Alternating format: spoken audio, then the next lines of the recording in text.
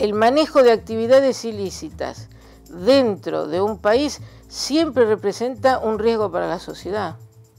En esencia, el lavado de dinero es, yo tengo dinero de origen ilícito, ¿sí?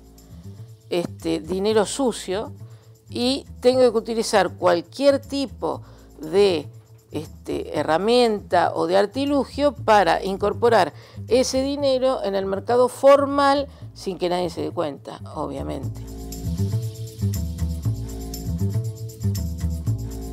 Durante la década del 90, el delito principal era el narcotráfico.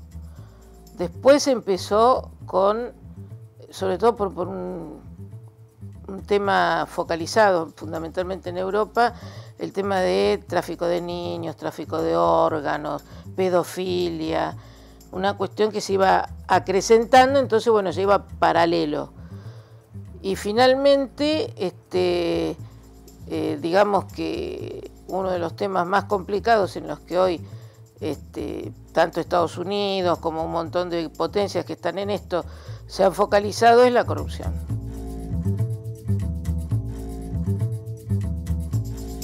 A mi manera de entender, la palabrita control es un tema que no, parece que esté presente. La Argentina recién hace, pocos años que reconoce que, es país productor. Siempre dijo que era un país de tránsito. Yo tuve una reunión hace muchos años, en el año 92 creo que fue, 93 por ahí, este, con el entonces secretario de la Cedronar, y ya en ese entonces la Argentina era uno de los primeros exportadores de precursores químicos. Creo que nosotros nos fuimos quedando en el tiempo y al quedarse en el tiempo, lo que a lo mejor en un principio era así chiquitito, ahora hace 3, 4 años que nos dimos cuenta, ah muchachos, tenemos acá todo metido.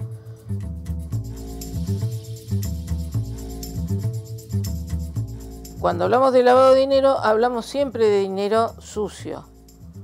Y ahora ya tenemos incorporado el dinero negro. ¿Por qué?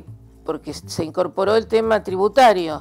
Y para mí sigue siendo un error porque, porque el, dinero proveniente de la evasión no proviene de una actividad ilícita. Porque el comerciante que evade tiene una actividad lícita. En esencia, el lavado de dinero proviene de una actividad ilícita, de ahí el narcotráfico, de ahí la trata de blanca, de ahí el juego clandestino, de ahí un montón de cosas. Siempre la esencia ha sido la actividad ilícita.